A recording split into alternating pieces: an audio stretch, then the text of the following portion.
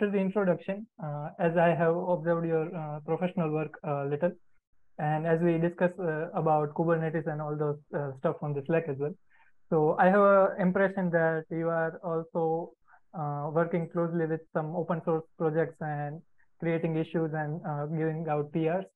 So let let we let us tell the audience about what are the open source projects and what is uh, actually the CNCF organization, what uh, what they are doing in this field.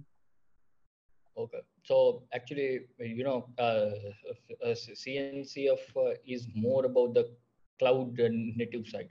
Mm-hmm. Now, you know, this this you know part might can stretch a little bit because you know if you talk about the CNCF, uh, mm-hmm. uh, the cloud native part and everything, if you see the previous time, we are continuously evolving. So. Mm-hmm previously it was the full monolithic system people were trying to deploy in into the physical server mm-hmm. they were following the waterfall model uh, for you know development process and everything mm-hmm. then they used to do it to physical servers or data center they host their application mm-hmm. fully monolithic and everything then we evolve then mm-hmm. we you know move to the uh, agile method and then we are continuously following the agile method and evolution comes from the physical. We are uh, started using the VM servers.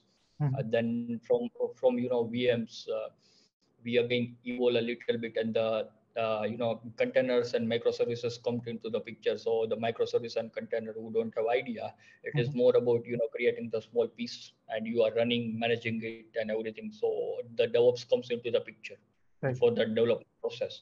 Mm-hmm. So the microservices, DevOps, uh, containers, uh, then you know cloud also co- comes into the picture same time. So mm-hmm. uh, you know uh, the cloud native is more about the you know you know software development. Uh, organizations organizations can you easily build, deploy, and manage that application or software into the cloud. So it was about the cloud native side.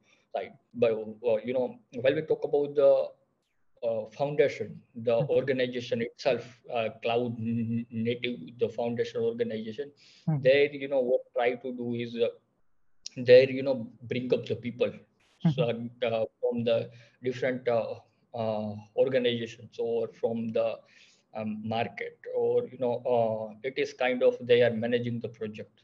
So for example, when this containers comes into the picture, hmm. the management of container also the one task it is the big task because you have the tons of container to manage so okay. at that time google you know everyone might have heard about kubernetes and google gave that project to the cncf and then cncf started managing that specific project mm-hmm. so uh, you know it is more like cncf managed that specific project mm-hmm. and it is m- more about you know uh, giving uh, better software or a better you know kind of i can say application or mm-hmm. that specific thing to the end customer mm-hmm. so you know it is always a collective way that cncf specifically focus mm-hmm. and also the open source things uh, if you see the kubernetes then uh, i have seen the uh, team from red hat team from amazon team from google and mm-hmm. also the other developer and folks from the open source they are all actively contributing to kubernetes right so cncf mostly focus about the collective power and mm-hmm. they manage so uh, you know all the competitors aws google uh, oracle and all are if you see are the competitors into the cloud market everyone mm-hmm. is offering the uh, you know kubernetes service right but you know cncf bring them onto the one specific platform and all can collectively hmm. move ahead and right. all can collectively uh, resolve the issue for for the end users or end customers mm-hmm. if I, I am using the specific service with any of specific cloud provider which is not supported by the cncf mm-hmm. uh, it is not open source then what will happen someday if uh, that specific company decide we want to stop this service right. then what will happen i will be right I, will be gone like it would be hard for my organization or my company or my team to uh, run the uh, specific things because mm-hmm. now that service is down right. while what will happen if that project is supported by the cncf it is open source so i can at least uh, you know try to run or try to set up on my end if that company stops serving or you know mm-hmm. uh, provide the support for that. And oh, even if the it is part of CNCF, then it might could happen the oh, you know more than one company is providing the support or right. the service mm-hmm. specific thing. So you know that is the main task of CNCF uh, mm-hmm. uh, organization. They try to you know uh, uh, suggest the best practices, uh, try to suggest uh, you know development process, and they create the event. Mm-hmm. Uh, you know, uh, recently I think in maybe April or May the KubeCon in Europe is there. Yeah. So they you know give the idea, they talk about the technology, best practices, and everything that mm-hmm. you know it can help the end user. So it was about the mm-hmm. CNC and also the one thing in CNCF for two two part of project are there. Mm-hmm. So one is the graduated project, the another one is the incubating project. Also okay. the sandbox, uh, sandbox project are there, mm-hmm. but uh, we I, I, just want to talk generally about this too. Mm-hmm. So these Kubernetes is the part of a graduate graduated project. So mm-hmm. it is like already doing well. It is graduated, stable, and everything.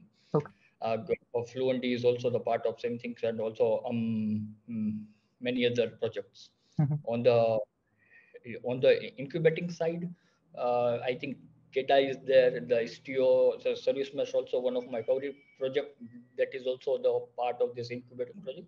Mm-hmm. So all those this project you know managed by CNC, all the people collectively do the you know uh, open source works to this project. They contribute and mm. those this project get evolved with the time so mm. that's all mostly about the cncf and what they do okay uh, also like uh, uh, i was wondering about this particular thing that uh, why uh, corporates uh, create a project and then they donate this project to open source communities like cncf but after your answer i got a clarity that if you are building something that is bigger than your organization like you are doing a concept level uh, uh, development, then it will take like a long uh, span of time for the developers, and you will need a larger team to work around it to decide the best practices.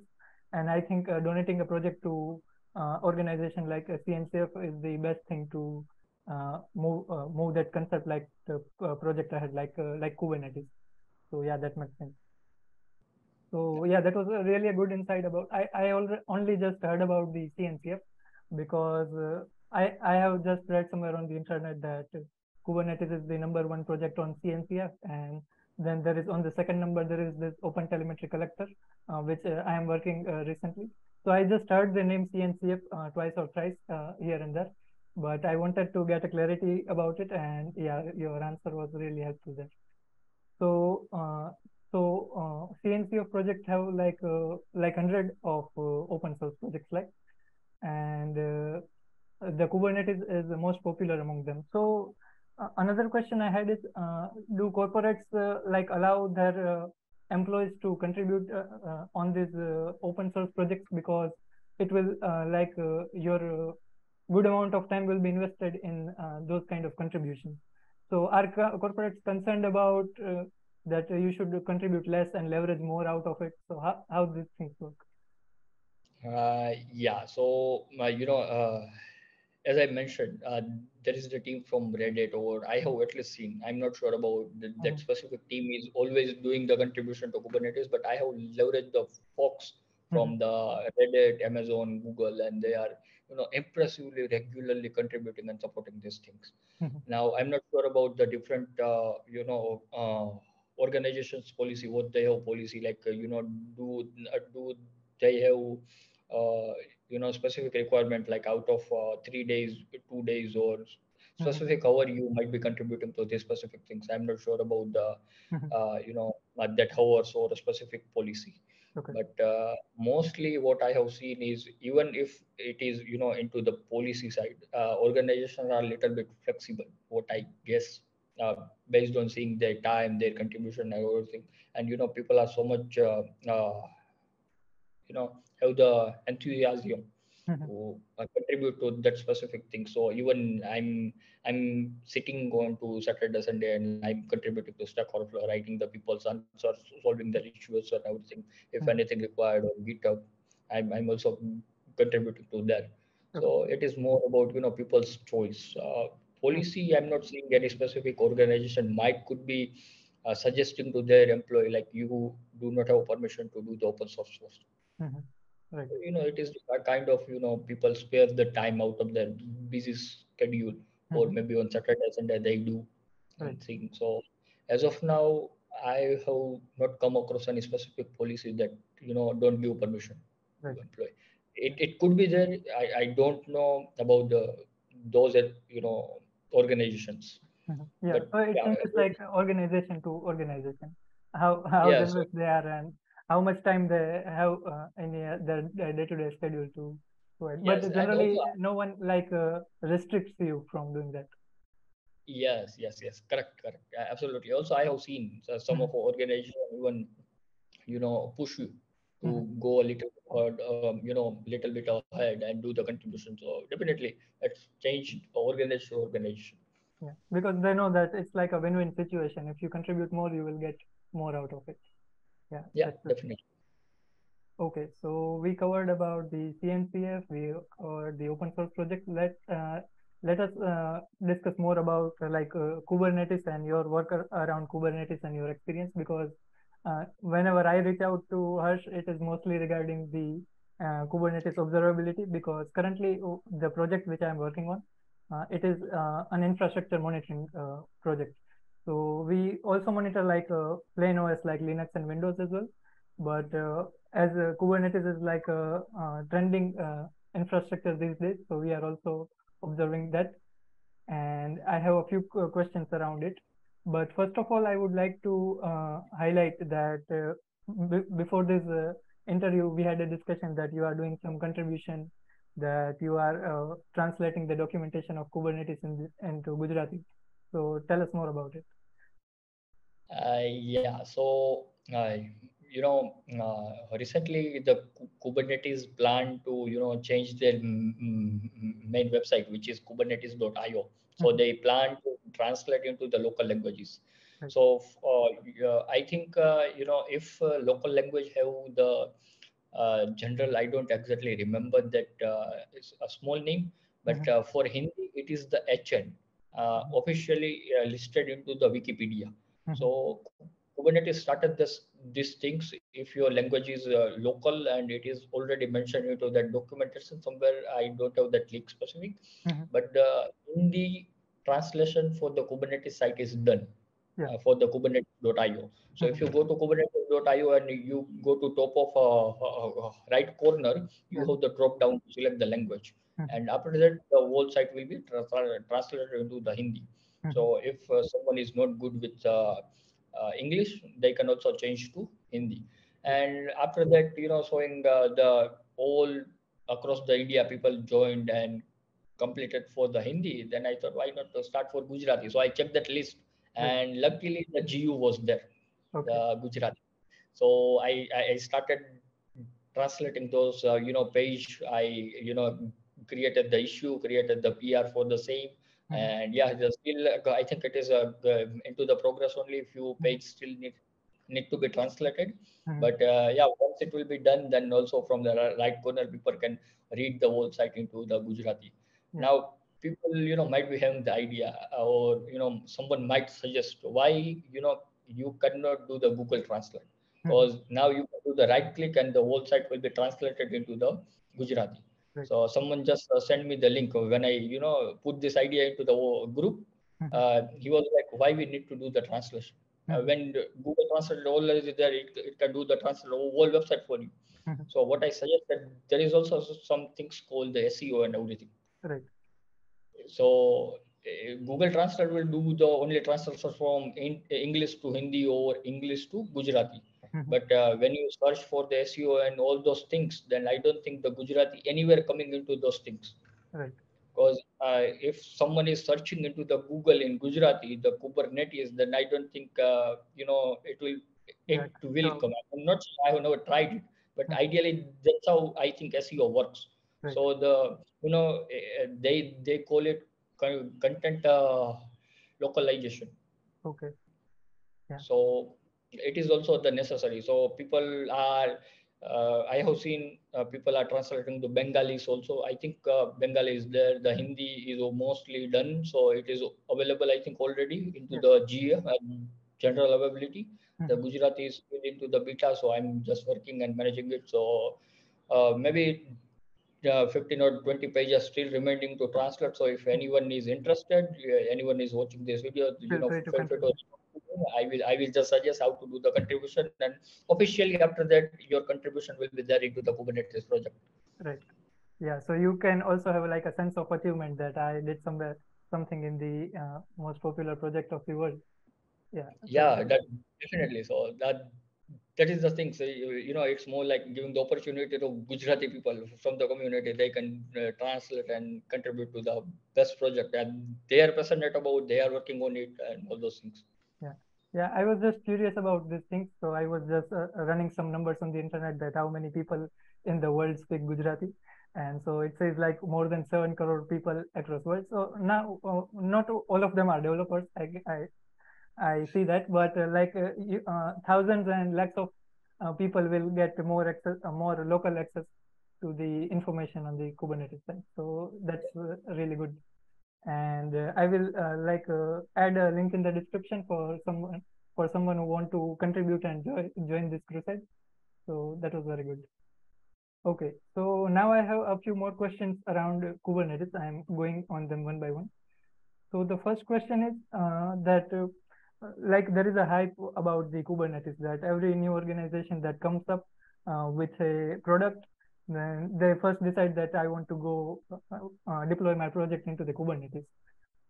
But recently, uh, I discussed with uh, one of our uh, company client, and they were like, uh, "We have started our company recently, and we don't think that right now it is suitable for our product to handle that much complexity, and we do not have a staff to maintain Kubernetes on our structure. And if something, some one thing goes down, then and if the cluster goes down then uh, you cannot like uh, doing uh, do some patches like you do in the uh, plain uh, plain setup.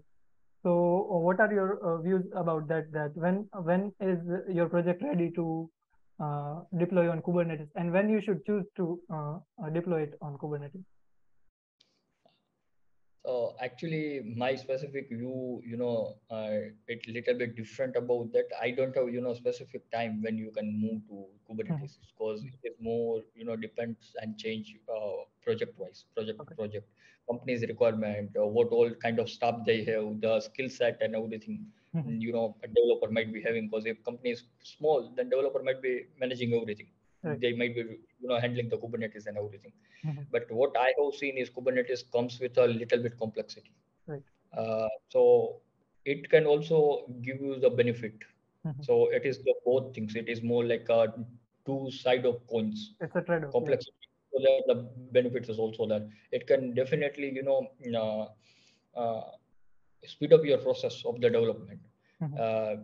Uh, if you will be managing everything into the VM, and then it's more like you know my own project is still still stuck in the migration, mm-hmm. and I I'm planning to migrate that specific project from last one month, and still I don't have time to migrate. So it is very tedious things. You do the clone of code, you start the stuffs and everything. Well, with Kubernetes, it is easy. If you want to migrate to another cloud provider, at least it will be the you know uh, work of few hours only.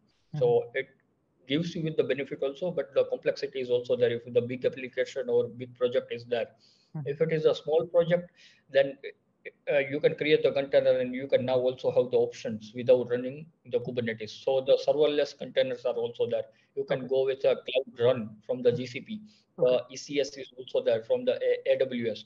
So you can create your container and you can directly run if you don't have the option or don't have the team specifically to manage the Kubernetes. Mm-hmm. So you know, at least you have now alternative options.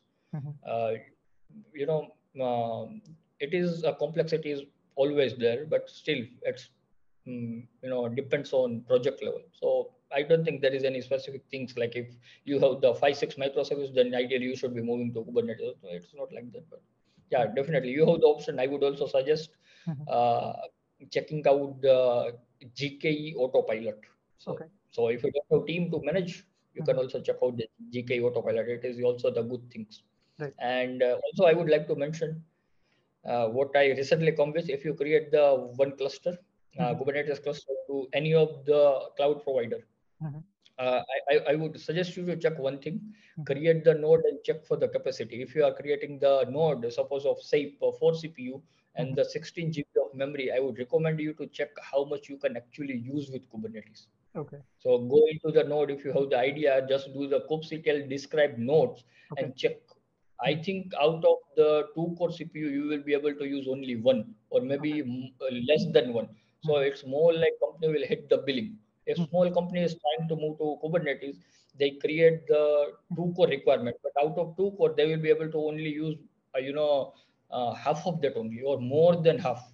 Okay. So definitely it will hit them the billing hard, very hard. So this cloud run and autopilot might could save them, Mhm. but uh, you know uh, it's better to yeah. So, like, So- wh- what happens to the other one course if you Do they use for the management, or do they do not use it at all? Yeah. So actually, the uh, what I think is uh, they definitely use for the management because uh, inside Kubernetes, uh, you know, worker nodes and everything, they run these uh, processes. The system processes are there, the SSH process is there, Kubernetes from the Kubernetes side process is there. So Right. those specific one core CPU used by uh, those processes. Yeah, Yeah, because cloud if- platforms like give out many more services uh, for Kubernetes uh, alongside the regular Kubernetes, so they need some CPU for themselves as well. But uh, this is like an important thing that how much they uh, they are using uh, from your infrastructure, but they are billing you. So you should like be aware about that. Yeah. So, So Mhm. that's the main thing. If it's a small company, then definitely it will hit hit them hard. So this is the one thing I was also, you know, keep uh, in mind for everyone Right. uh, whenever you are planning to move into Kubernetes, because you will be having the hub capacity of your plant. Okay. So I, I will also check. I have used some cloud platforms and I will check that if they are giving me the right value to my money or not. Yeah. I, also, I would uh, suggest checking out once OKE the Oracle Kubernetes engine, and I would also like to doing the same thing and do the comparison between the Google one, the OKE, and the AWS one. I, I would suggest to check all three. Yeah, sure. Okay, so that was some amazing insight from Harsh. Uh, next, I would like to know that there is something called OpenShift from IBM. So, do we know something about that? Because I am a little confused that if they are using Kubernetes inside uh, them only, is, is it a Kubernetes service or it is a, like a competitor of Kubernetes itself? Uh, basically, I have not explored, you know, being honest, I have not much explored the IBM and the Azure side. I have less experience with uh, Azure and IBM. So I have never used or never dirty my hand with OpenShift. I have heard about OpenShift, but I don't have more idea. But what I guess based on my experience, Mhm. it could be something like rancher Okay. or it could be like a vapor top of the Kubernetes. Mhm. Okay. But uh, still, I have seen uh, with open source, uh, sorry, OpenShift, they are providing the, you know, some of good capabilities. They have their own CLI tools to connect with the cluster and everything.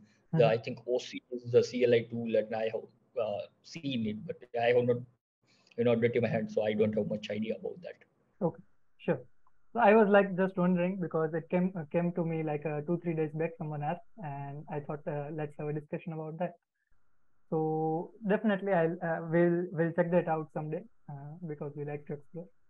Okay, so that was about it. Uh, next question is, uh, what do you use to like monitor your Kubernetes? Do you use your like in the cloud platforms only? You also get some insights of the resource usages as, as, as well and there is a Kubernetes dashboard that they provide by default. Uh, you just port forward it and you can check. And there are many more tools like Lens IDE and all that. So what do you personally use to uh, check the resource usage and all the stuff for managing your cluster? So actually, I'm the fan of kubectl CLI. Okay. I That's I the- use the watch kubectl and that's all I use to monitor the things uh, uh, the things running or not. And even metric server is running, we can Mhm. run the kubectl top. But if you really talk about the monitoring, I use the mostly whatever the cloud provider is you know offering. Uh, if AWS CloudWatch is there, if OKE Oracle is there, then uh, they have the own monitoring option with uh, GCP. They have the Stackdriver and everything. So I, I, I prefer those only the default one. If anything required apart of that, then I you know ship to the Prometheus, Grafana, okay. and all those things. If uh, tracing is there, then move to the Jaeger side. So mostly start using the open source options, Prometheus, Grafana, and all those things. So yeah, and if it's about the application monitoring, then uh, uh, APM is good option. So mm-hmm. you know from um, you know I have used the New Relic, which is mm-hmm. the paid one, not open source one. Mm-hmm. Uh, sorry, uh, not an open source one, but uh, yeah, uh, I also I prefer APM from a New Relic, but still they are good. you know, available others in the market. So I have not handled that with APM much, but yeah, that's all mostly I use for the monitoring, application monitoring, and all those things. Right. Uh, let me one second. Yeah. Yeah. So, and what kind of uh, details do you look for if you are like uh, monitoring only the? Uh, let's talk about the infrastructure part more, uh, not about the application. Then, what do you look for, uh, like a day day to day basis? Do you look for if your nodes are going out of CPU. If you are like uh, just watching the performance of the cluster, then what do you watch out for? Yeah, so mostly generally I you know see the three specific uh, parameter. I I mostly care about the disk part, um, memory, and the CPU mm-hmm. uh, side. Uh, so mostly I monitor the three things, but yeah, definitely other uh, you know metrics are important. Uh, it's not about always these three, because when you have the SLI, SLOs, and all those things implemented, so you might be having the you know a little bit uh, good monitoring across the you know uh, different uh, these metrics and everything. Mm-hmm. But generally, on day-to-day basis, if you know any node is going down or something is happening, then mostly we, we prefer to check around the CPU, memory, and the disk pressure that is happening on the Kubernetes node. So we just care about three at a very basic level. Mm-hmm. Otherwise, it's uh, this JVM heap and all those things comes into the picture if you are using the Java and everything. So the memory leak, and, uh, it is more of kind of application side. But again, it also comes on our shoulder. Yeah. So we have to worry about that. Yeah. At, at the end, it's uh, like DevOps responsibility to keep the things running. That's yeah. right. Okay. So now uh, we have two more questions. Uh, can we do it in this meeting? Let me check. Yeah, let let's do one question here only, and then maybe we'll. Sure. Okay. So the next question is, uh, what should an, a, a developer uh, should aim for in uh, their career journey? Like, uh, should they aim for like good salary, or should they aim for a good company, or should they aim for a good designation? So what what is the uh, correct uh, attributes to make your deci- decision? What what what do you say about it? Yeah, so actually, I, I, I would like to uh, re, uh, refactor your question a little bit. Like sure. it's not always about uh, you know skill. Ideally, uh, you know it's not always about. Uh, actually, it depends on person to person. Mostly. Okay. Okay. That is the all I can answer. If someone is going behind the promotion, then I, I, I you know, cannot uh, suggest them to go behind the skill. Okay. Because sometimes for a person, as uh, designation matter, and mm-hmm. person like me, IC is the best thing. Individual contributor, you give me the IC, and I will be sitting always into the office and doing the contribution. Okay. Uh, you know, around if you give me anything, I will work as the IC. I don't want to be the senior, junior, all those things. I so it depends on person to person if they are looking for the designation or not. I have met one of the good guy on Stack Overflow. He has the 25 years of experience and he been contributing as IC only. And he was kind of uh, lead and mm-hmm. he just you know uh, left the designation and thought I will do the contribution only.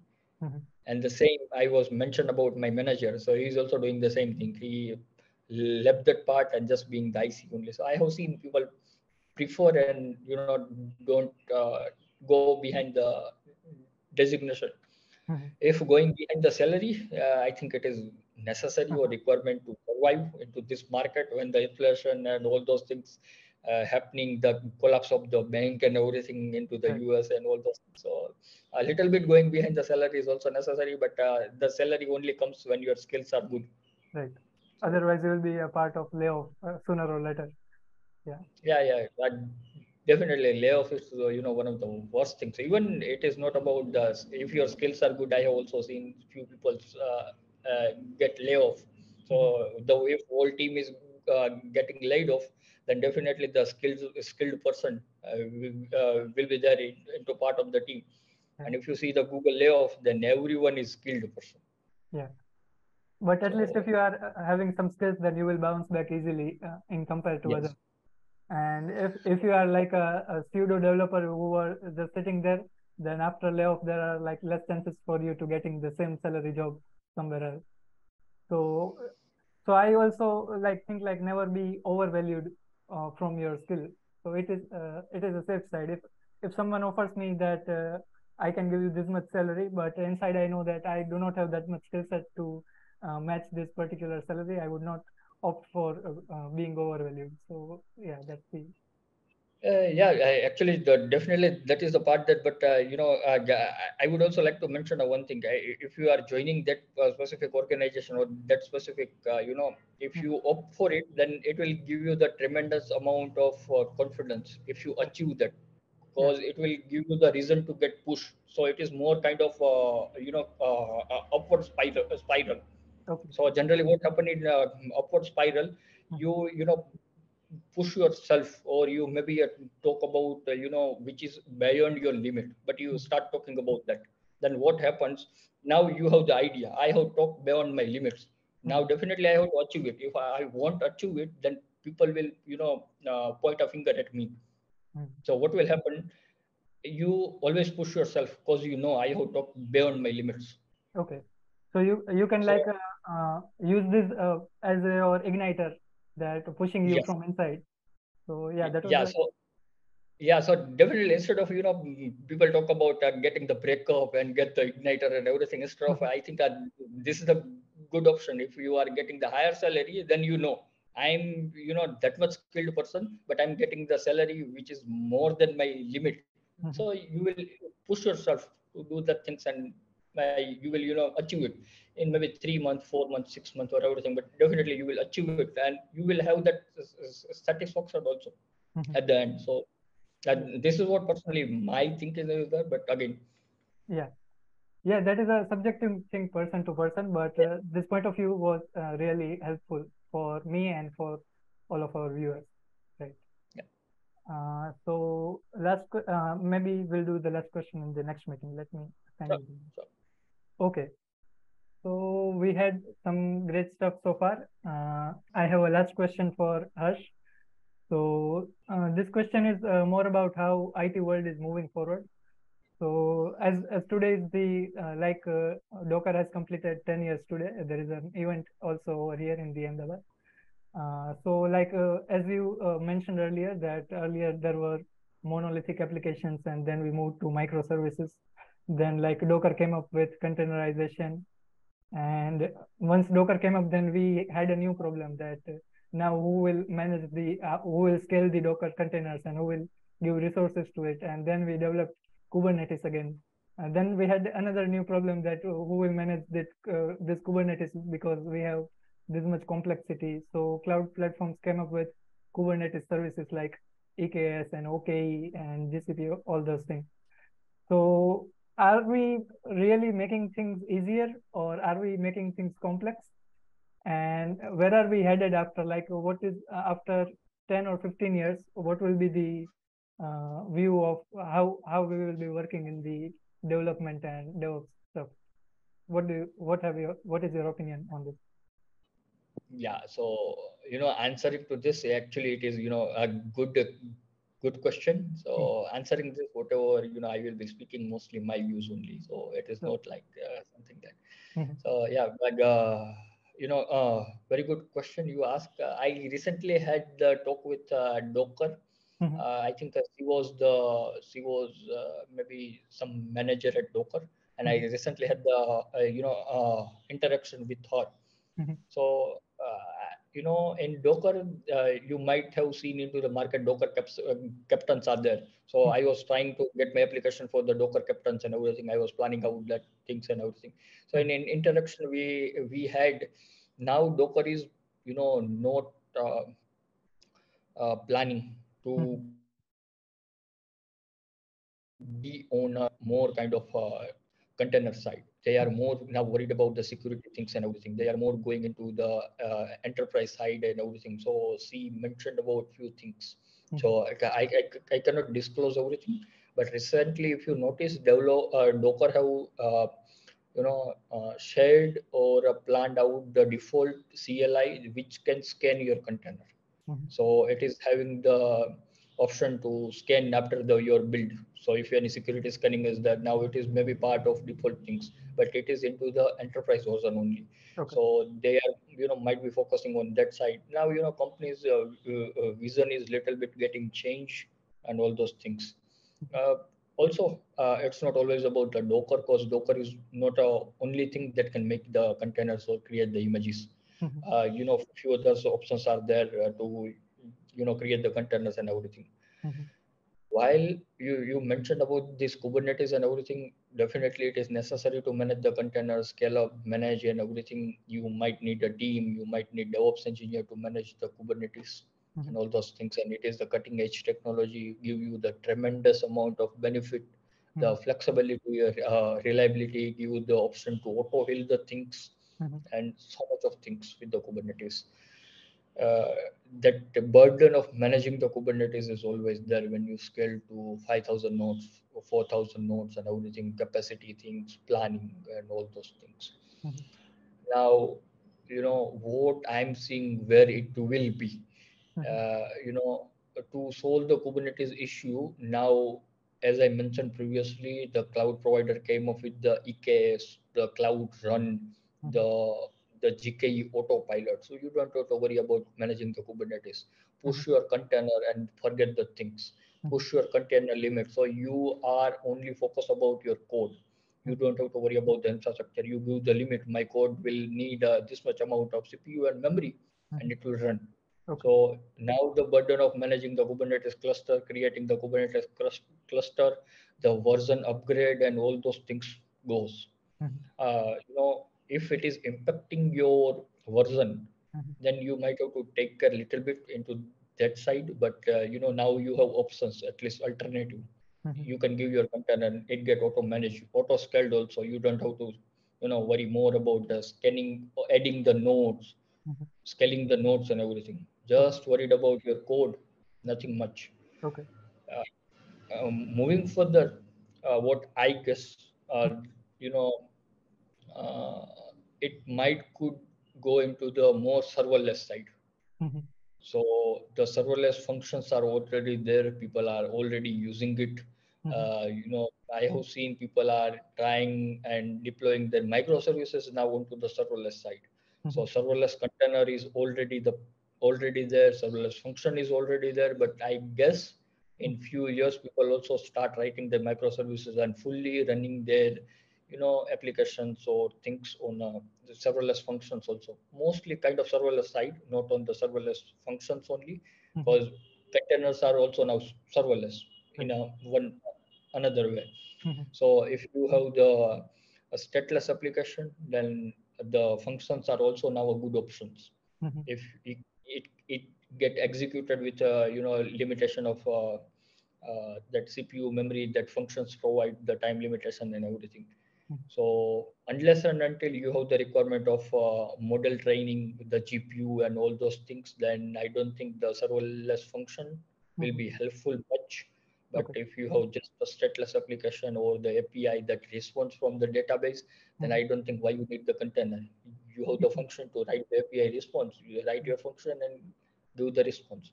So this is what I guess people might be moving ahead with uh, serverless things. Uh, if AI, the ML ops and everything comes into the picture, then definitely you don't have much options that side.